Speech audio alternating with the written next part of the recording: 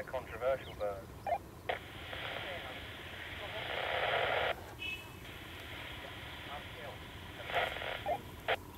Again, they're very difficult to see, especially on first summer birds.